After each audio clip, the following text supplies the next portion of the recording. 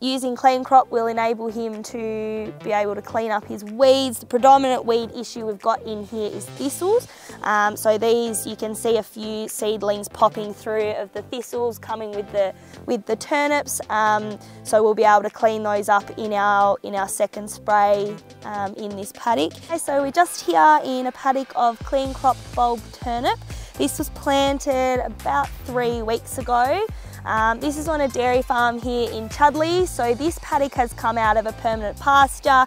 Um, farmer was looking to do some renovation, um, tidy up some weeds and get ready to come back into a, into a permanent pasture, but um, this will also help to break the cycle of um, some of your grubs like corbies and cockchafers.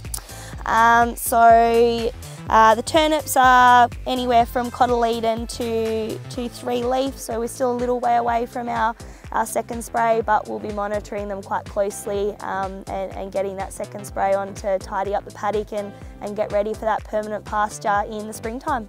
Uh, I'm Caitlin from DLF Seeds and if you have any questions about Cleancrop please feel free to contact me or jump onto the DLF website at dlfseeds.com.au and get in touch with your local rep.